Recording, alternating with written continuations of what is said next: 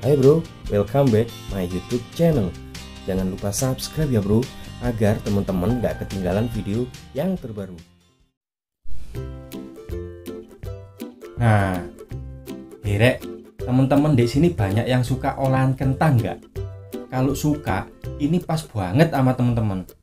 Karena aku bikin olahan kentang yang simple, mudah, bahannya pun itu nggak ribet cuman pakai dua bahan utama aja ini rek. Dan di sini aku juga nggak pakai keju tapi rasanya tetap nampol banget. Buat ide jualan pun juga bisa ini rek. Nah langsung aja yo. Aku kasih tahu bahannya apa aja yang aku pakai. Di sini aku siapkan setengah kilogram kentang yang udah aku rebus yo.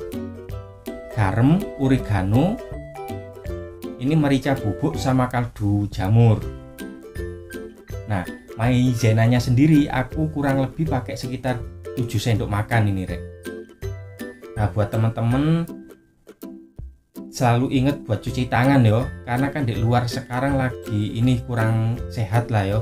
Lagi ada musibah jadi selalu waspada dan selalu cuci tangan yo.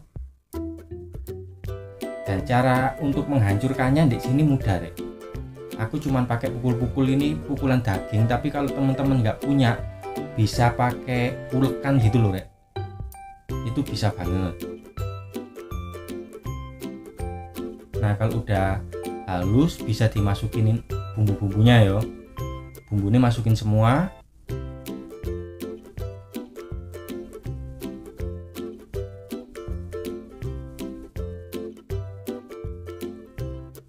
ini teman-teman kalau misalkan nggak punya oregano nggak pakai juga nggak masalah. Tapi kalau misalkan ada oregano itu lebih rasanya lebih nampol ini lebih enak. Nah habis gitu masukin maizenanya. Tapi kalau masukin maizena itu sendiri jangan langsung semua yo. Dimasukin setengah-setengah aja dulu biar nggak berantakan aja sih ya ini. Aku masukin kayak gini.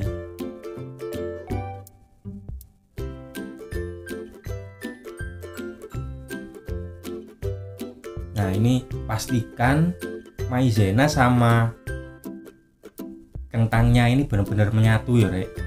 Biar hasilnya bisa maksimal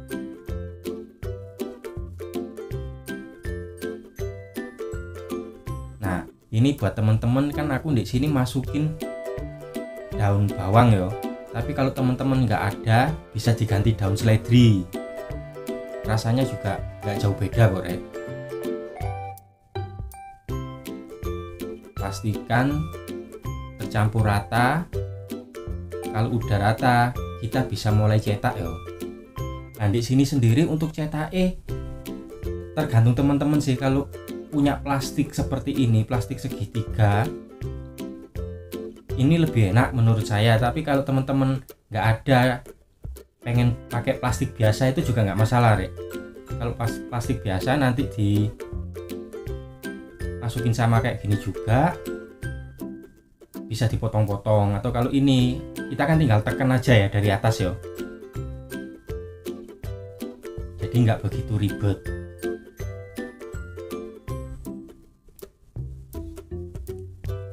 alasnya ini sendiri jangan lupa dikasih tepung ya rek.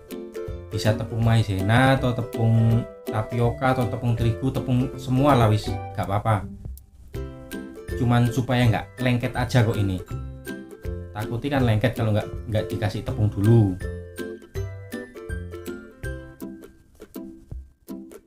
Nah cara bikinnya gampang banget kan rek? Simple. Nah ini aja udah bisa dimasak rek kalau udah siap dimasak kayak gini kita goreng. Ingat yo kalau gorengnya bahan-bahan yang dari tapioka atau dari maizena itu harus selalu pakai api kecil yo supaya nggak meletus.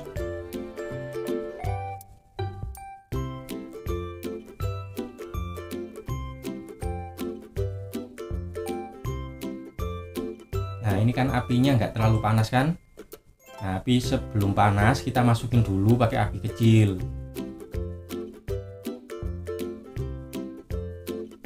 Ini rasanya enak banget rek. Nggak kalah sama yang pakai keju. Nah ini bisa dibilang lebih ekonomis sih karena kan keju mahal yo. Daripada kita pakai beli keju kan mending pakai biasa gini tapi juga sama-sama enak nih gitu loh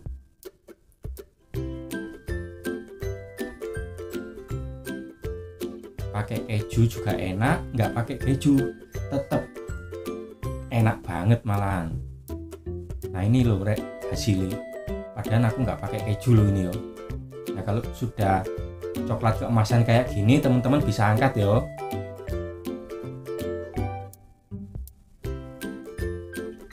Hmm, apalagi ini dimakan bareng-bareng sama keluarga gitu pas banget ini rek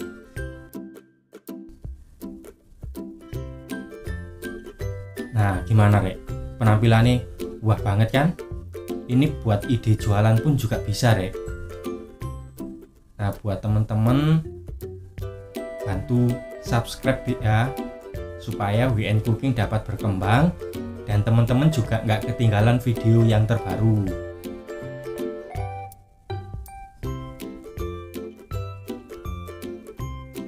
Terima kasih ya rek